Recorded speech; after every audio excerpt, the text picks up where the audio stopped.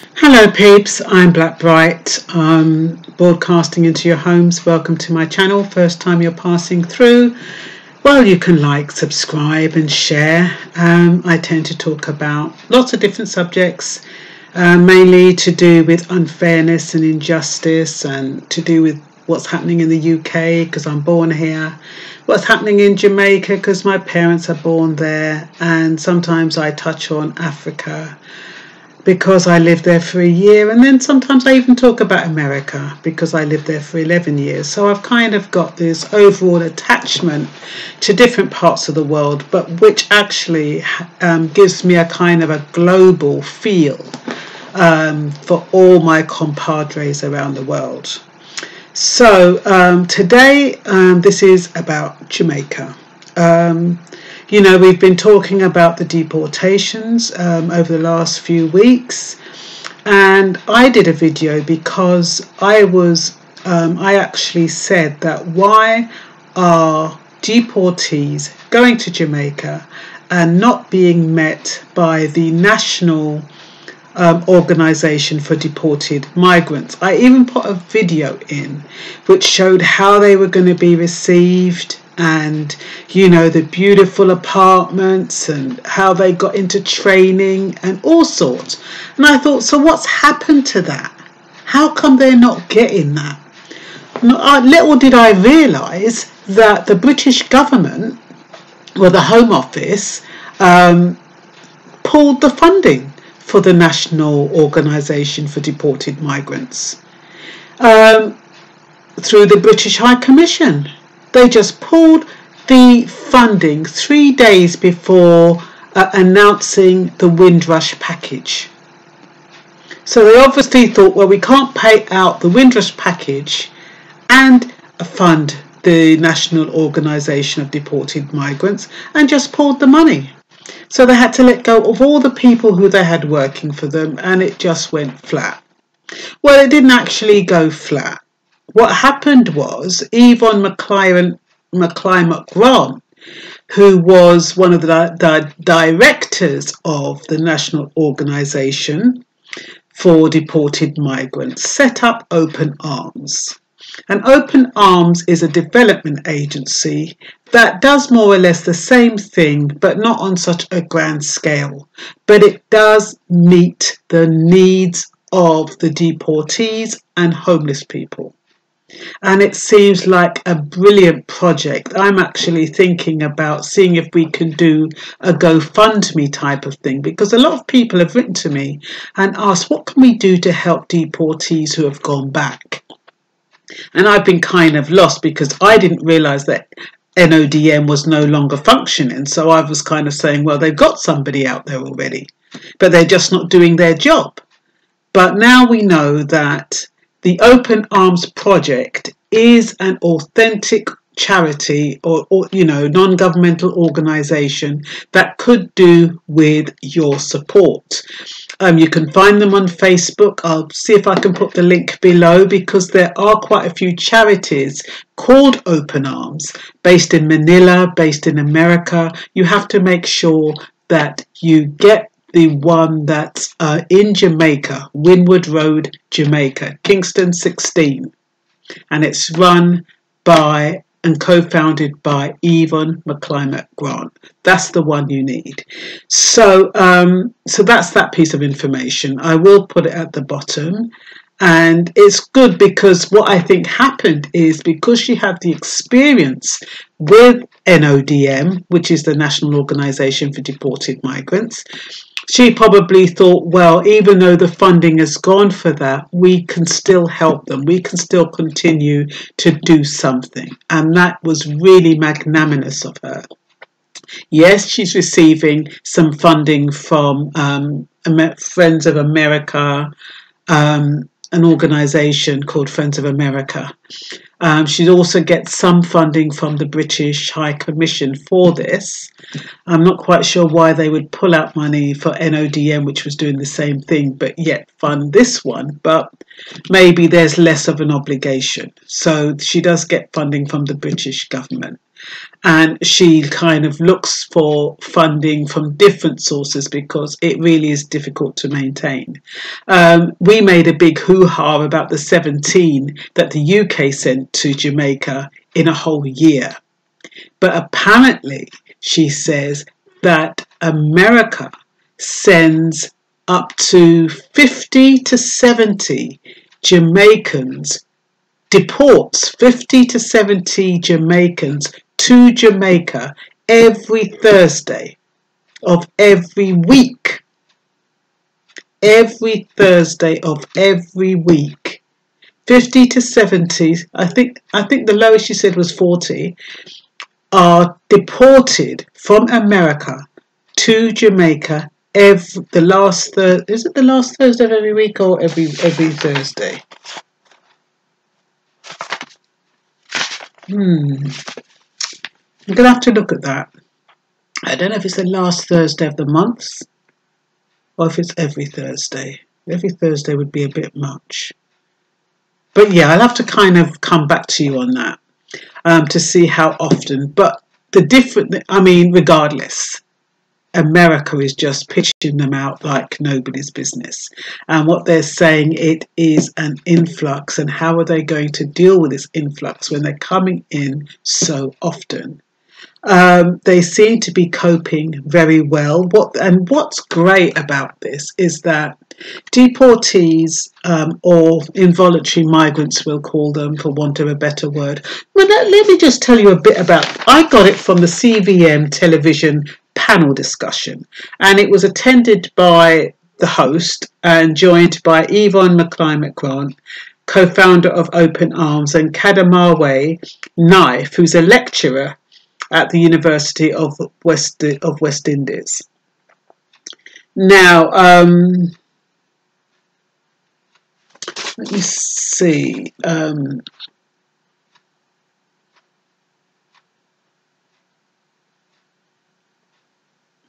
the British government had given the National Organization for Deported Migrants between 160,000 and 180,000 over seven years, which is a far cry from the 25 million we were talking about and trying to find out whether or not the Jamaican government received that amount.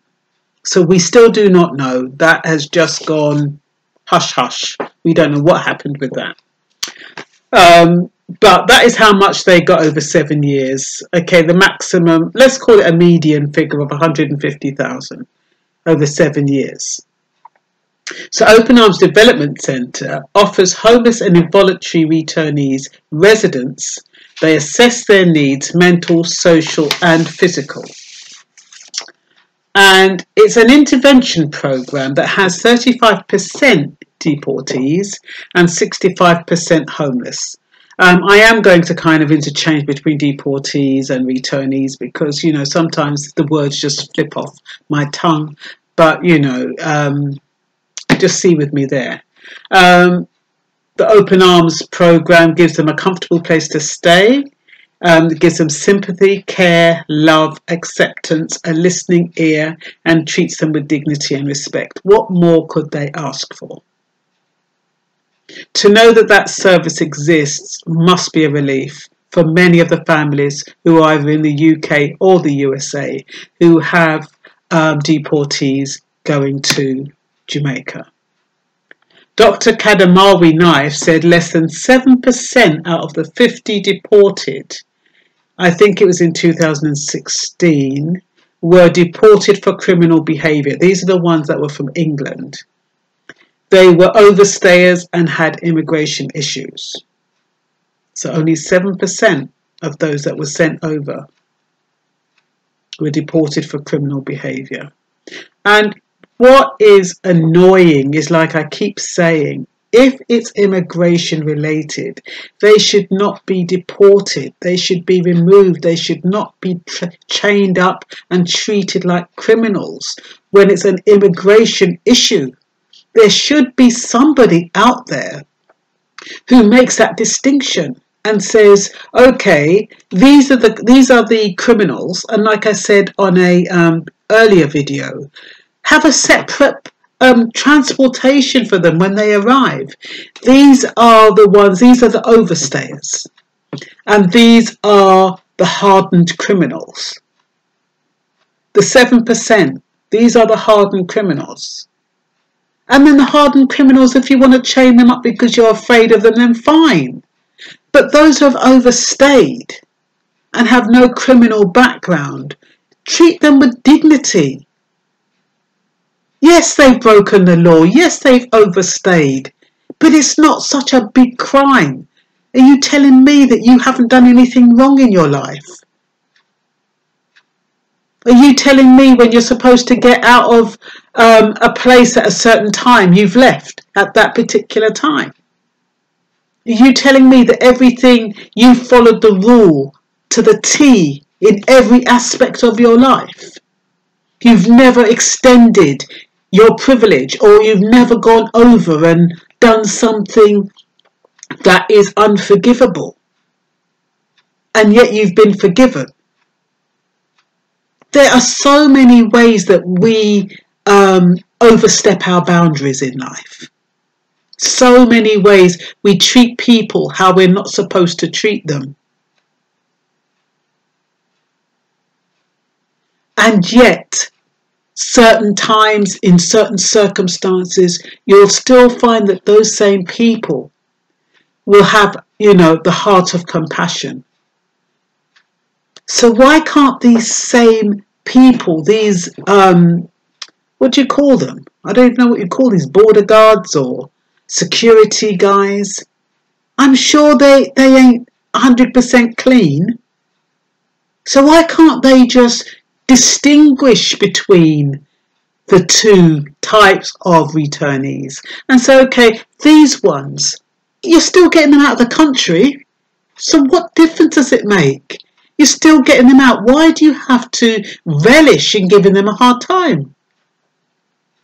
You can just say, okay, these are immigration. Do things by the book. Do things properly. These have immigration issues, so we'll, we'll, remove them and we'll do all that documentation for removal. These are deportees. These are the bad guys. So let's, you know, restra- restrain them and do whatever we need to do to make sure we are safe. Make that distinction. But you don't lump everybody in the same boat. It's not right and it's not fair. Um, apparently, um, Dr. K'nife also said that those who those Jamaicans who left Jamaica and got involved in criminal activities are more likely to have been involved in criminal activities before they left Jamaica. Now, my question to that is don't they investigate people's past before they allow them into the country? Don't they check their criminal background? Or is this a recent thing that they do? Or did they or do they just allow every, anybody to come in willy-nilly? I'm sure they must have some kind of link to an individual's background to know whether or not they've committed a crime before they let them in. Or is this a sudden reflection? You know, it's always, it seems like it's like pulling the rug from under your feet as soon as you feel safe. That's what it feels like. It's a bit like those people on universal credit, the people on benefits. They had that kind of surety that the government was going to pay them. And I'm sure the majority of them thought the government was going to pay them for the rest of their lives. They didn't even bother. For those of you who saw Benefit Street, those people, benefits, getting benefits was a way of life.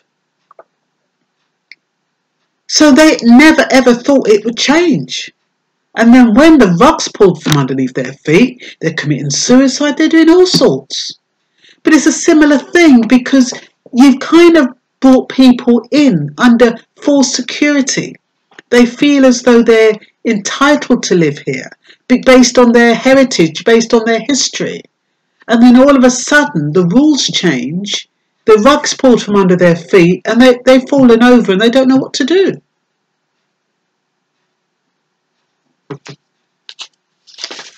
I don't know. Jamaicans tend to give deportees who have returned with no money a hard time because they interpret it as wasting an opportunity. So you see, with one thing with Jamaicans, they're a very proud race. When they go abroad, they try to do the majority of them try to build up themselves, do something that they can be proud of. They've got anybody coming from America and they're coming to visit, they want to make sure that their home looks good. I know that my mum, anytime she, well, when she was younger, anytime she had a visitor from America, all the new curtains come up. You know, she makes sure that the um, leather so- sofa is clean. She might even put down a new carpet.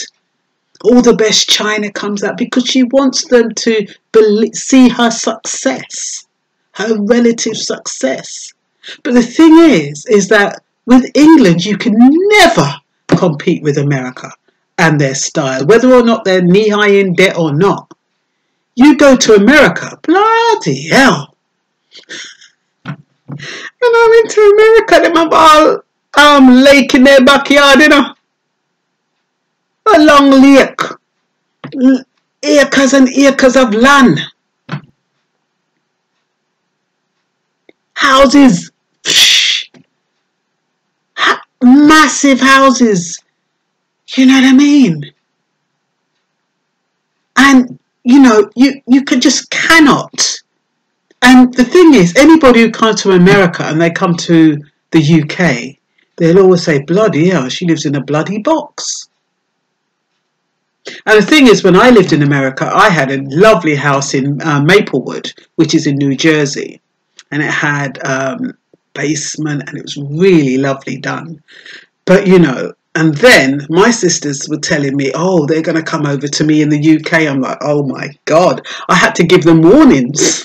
I'm like, listen, I live in a little box, you know, I can't accommodate you. You're not going to have your own room because when I go to them, it's like I've got my own room. You know, it's like them have some of those houses have two kitchens, two bathrooms. I mean, talk about excess. But like I said, they pay out for it. Me, I prefer to live quite modestly and I like to live within my means. So therefore, I'm not out to impress. I just tell them the truth. Look, you can come over, but you're likely to have to sleep on the sofa in the living room, and that's how it's going to be. Anyway, how did I get onto that? I don't even know how I got onto that.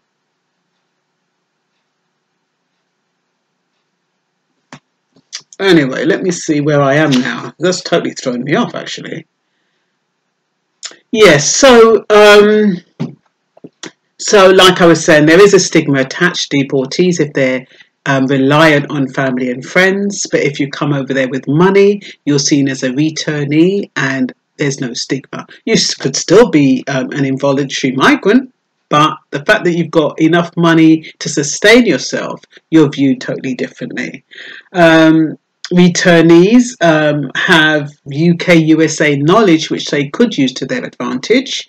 Uh, remember that there's a lot of things that people in the UK and USA have learnt that could actually benefit people in Jamaica. So, you know, we have to kind of look at the positive sometimes and see, okay, how can how can we work together? How can we help each other? What is it that they know that we may not know yet? What because America is way ahead.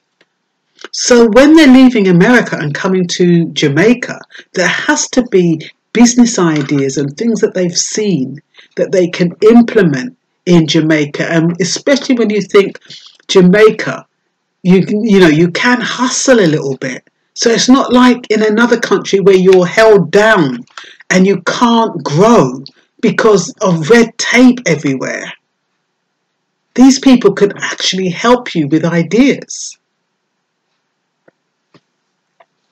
You could actually be a consultant, a motivational speaker, an author, an advisor. The world is your oyster, really. Once you get over the um, fear, because it, it must be quite a fearful experience and a humbling experience because you are going back with your head between your with your head between your knees. and until you get yourself on the ground and take advantage of um, development programs like Open Arms. Don't feel ashamed. I mean, they were talking about they want people to attend these outreach programs. And I'm not sure whether or not they'd want to attend that because I got a funny feeling they might feel a bit targeted. But I think the Jamaican culture is so different from the British culture. Let's talk about Britain for now that I think um, cultural integration needs to be, they need to be trained in cultural integration so that they have that, Jamaicans have that kind of resilience and, um, oh, I don't even know what to call it. But they have something that the British, especially the British men, don't have and the British men need to tap into that Jamaican culture that gives them that strength and gives them that resilience and determination and balance it with their professionalism because British people tend to be quite polite and professional. If you could amalgamate the two cultures so that you come up with something positive that could benefit any everyone, that might be the way to go. I'm not quite sure what that is, but somebody might think of something. Um, what else have we got here? Um, they were saying the involuntary returnees, um, they have skills that are needed in Jamaica. They have a good work ethic. They have various um, experiences. They also have undeclared skills. A lot people have the impression that a lot of the returned, the involuntary returnees have no skills, but they have skills, but they're not declared. In other words, they kind of, you know, when people consider skills as something of a high level, like um, IT or elect- electronic or science but sometimes basic skills are just as useful. Like, um, be, I think, um, what's his name? Um, Miss Dr. K'nife was talking about they have care home skills. We have a lot of Jamaicans who work in the care homes in this country because it's a place where you can work, you can do overtime, you can make money working in the care homes. You know, you can do long hours and yes, you don't have much of a life, but that is how a lot of Jamaicans made money.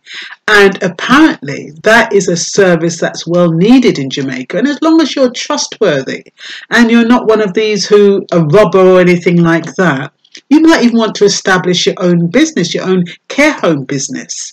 Few of you get together and offer that kind of um, business where because you know what you're doing, you know what they need. The only thing you'll probably need is the resources but that might even be an idea. But those are undeclared skills because a lot of um, men don't want to say that they were carers.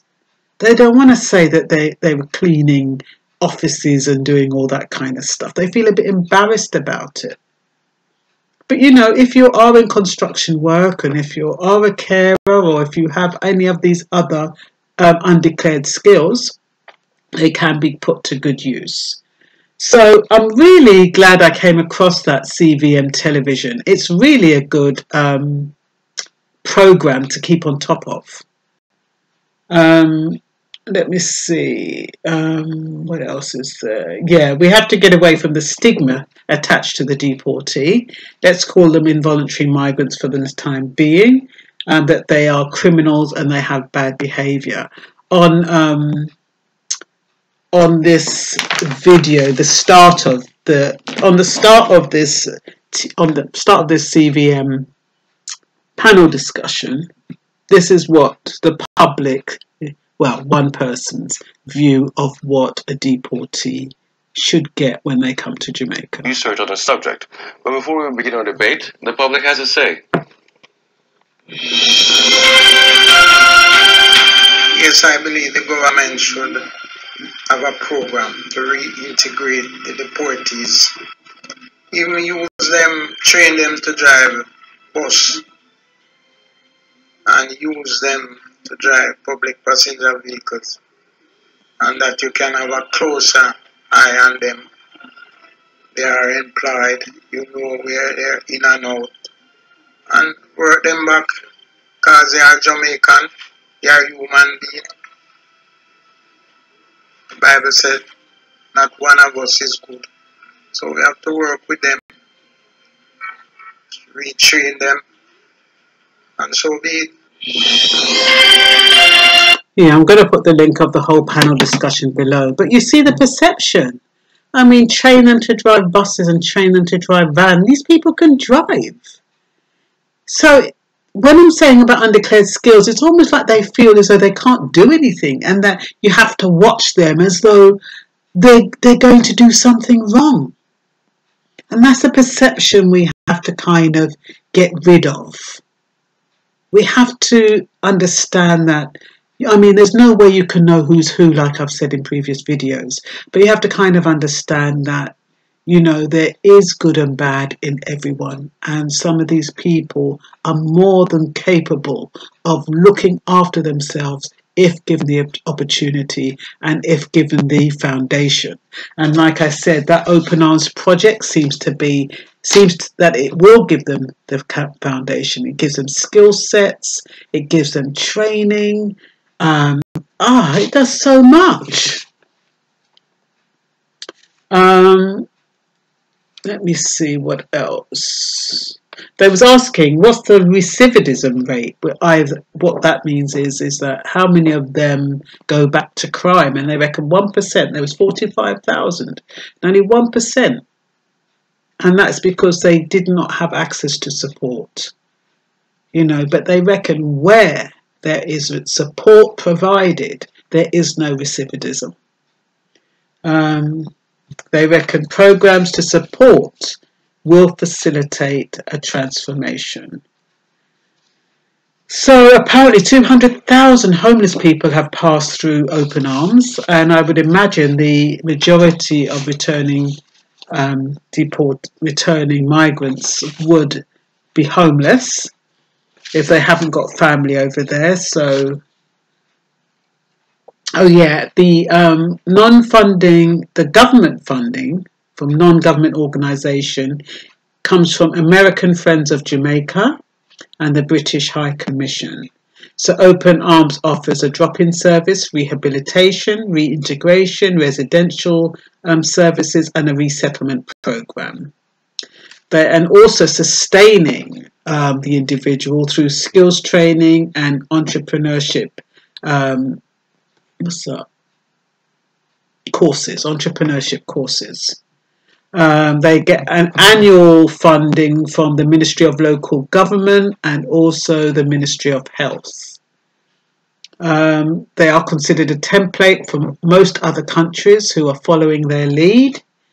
Um, yeah, I think that this would be a good organisation to fund.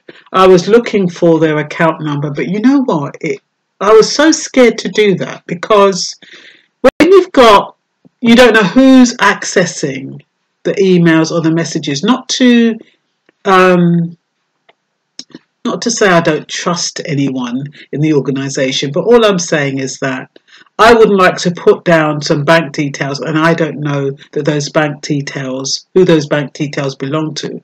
If I get an email from Yvonne McClymont Grant giving me the bank details, then yes, I would edit this video and put them up. But if it's from anyone else, I'm just not going to provide those bank details. But like I said, um, Open Arms Development Centre is on Facebook. I'm going to put that link below. So just join them so you can participate. You can donate if you want. And I think that should be good. Also, which is quite, when I say that Open Arms gives them a sense of dignity, they don't call them homeless people or deportees or even returning migrants. They call them participants. That's a lovely, that's a lovely title and they they learn how to run businesses. Um, they've got staff who are in charge. They've got staff who are assistants. They've got staff in catering. They've got a store where people sell goods. They make stuff to sell. And um, the British High Commission has helped them to start up social enterprises to enable them to be more self sustaining. So it's not all bad news. Uh, what else is this? 17 of the residents have jobs. Um, they provide training activities so they become more marketable. Um, returning migrants can sort themselves out after reintegration. Um, they help them with birth certificates and getting your tax registration number. Um, so somebody asked who tracks um, deportees once they arrive in Jamaica. Um, because you know, like we saw in one of those videos, this guy just walked off, and we don't know where he went. He was just kind of whizzing off. But apparently, they've got the Ministry of National Security, who is supposed to know where the returning migrants are, but I guess they only know where they are if they tell them where they are. I mean, if these people don't want to be targeted or found, they won't be found. Um, Dr. What's his name again? So hard to remember all these names. On. K'nife, Dr. K'nife. Strange name. On, one day. K'nife. Um, he reckons he was talking about they they drafted a deportation policy, uh, but it's not been finalised, and this was drafted years ago, and it was to support the integration of deportees into Jamaican society.